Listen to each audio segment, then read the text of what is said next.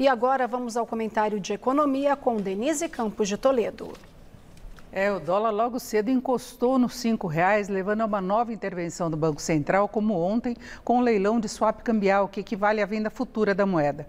Mesmo assim, o dólar fechou em alta forte, que chega a 9% após as mínimas recentes. E a bolsa em baixa acentuada, no pior nível desde janeiro, com a maior sequência de quedas desde 2016. O mercado aqui continua sob influência do movimento externo, pressionado pelas preocupações com a esperada alta mais forte dos juros nos Estados Estados Unidos, risco de lockdown mais amplo na China, com perspectiva de menor crescimento global e queda do preço das commodities. A este cenário se somam os problemas domésticos e temos o real com a pior performance entre as várias moedas frente ao dólar.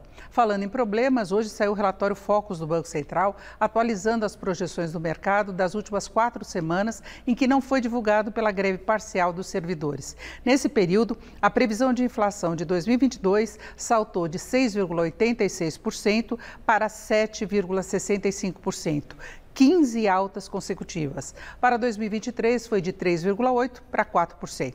Com isso, as projeções para a taxa básica de juros também subiram, chegando a 13,25% para este ano.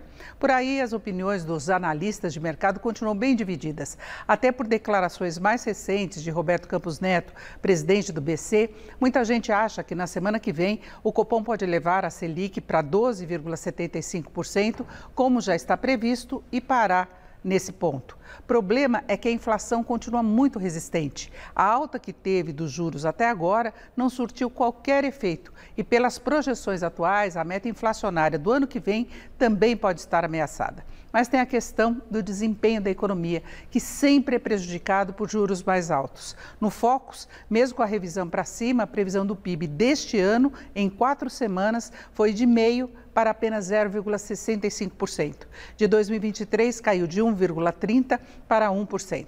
Fica difícil saber qual seria a calibragem mais adequada para os juros, de forma a conter a inflação também nociva para a economia, sem pesar demais na atividade. E agora ainda tem de novo toda essa piora do mercado que pode afetar a inflação, com o dólar em alta, mas também refletindo problemas, especialmente externos, que podem frear mais a economia. Laerte.